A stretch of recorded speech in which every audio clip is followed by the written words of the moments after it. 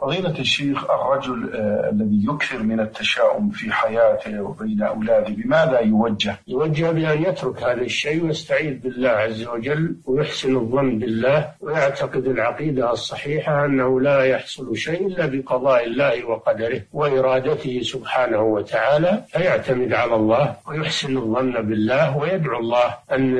أن يحميه ويحمي أولاده من الضرر ومن الشرور لأن الأمور بيد الله سبحانه وتعالى you know